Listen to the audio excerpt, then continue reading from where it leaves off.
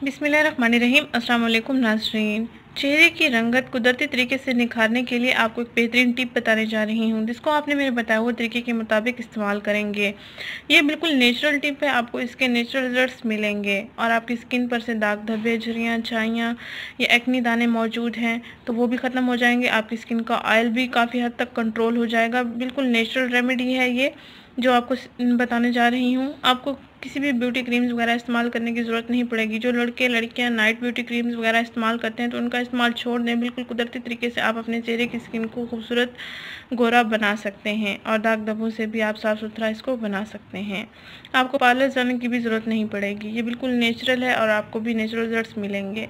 नाजिन आपने करना ये है कि एलोवेरा जेल के फ्रेश लीव्स आपने लेने हैं। रोज़ाना रात को सोने से पहले अपनी स्किन पर एक छोटा सा टुकड़ा लेके अपनी स्किन पर इसको रब करेंगे। और जब तक ये जज्ब हो जाए या खुश्क हो जाए, आपने रब करते रहना है। स्किन पर रगड़ना नहीं है हल्का हल्का मसाज की सूरत में आपने इसको लगाना है और रात भर इसको चेहरे पर लगा रहने देना है। सुबह उठकर अपने फेस को वॉश कर लेना है।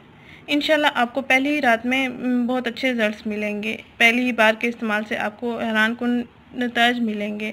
ये बिल्कुल नेचुरल सी रेमेडी है। आज तक अगर आपने इसका इस तरह इस्तेमाल नहीं किया कि रात को सोने से पहले अपने चेहरे पर लगा के सोएँ तो अब इसका इस्तेमाल करके देखें और लाजवाब रिजल्ट्स पाएँ।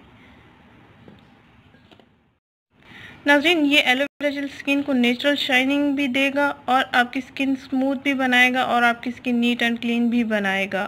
गर्मियों का मौसम चल रहा है तो स्किन पर पसीना बहुत ज़्यादा आता है।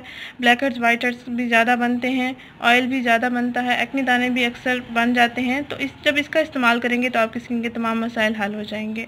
नाजरीन, अगर ये आपको वीडियो पसंद आई तो इसको लाइक करें, चैनल को ज़रूर सब्सक्राइब करें, इस वीडियो को ज़रूर शेयर करें। शुक्रिया, अल्लाह हाफिज़।